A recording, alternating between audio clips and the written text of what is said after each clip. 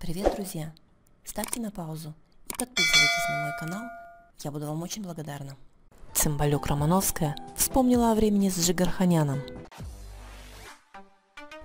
На Армена Борисовича вылили ушат грязи. Вся страна скорбит в связи со смертью легендарного режиссера Марка Захарова. Почтила его память и Виталина Цымбалюк-Романовская. Она выложила фото, где позирует с Джигарханяном и Захаровым. Оно было снято в 2015 году в ресторане, где отмечали назначение Виталины директором театра Армена Борисовича. Во время застолья Захаров поднял тост за бывшую Джигарханяна. Вечная светлая память. Подписчики присоединились к ее словам, сожалея об утрате. Однако многие, презрев приличия, под фото покойного ныне Захарова принялись поносить Джигарханяна за то, что он некрасиво поступил с Виталиной. Некоторые прошлись по его внешности, отметив, что сейчас он выглядит дряхлым стариком, так как при молодой жене буквально расцвел,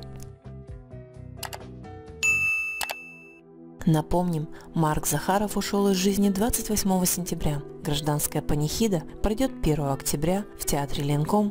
Автора фильмов «12 стульев» и «Обыкновенного чуда» похоронят на Новодевичьем кладбище. Помимо Виталины Цымбалюк-Романовской, горестные публикации в Инстаграм в связи с кончиной мэтром отечественного кинематографа оставили Кристина Арбакайте, Николай Басков, Филипп Киркоров, Лера Кудрявцева и многие другие – Благодарю вас за просмотр.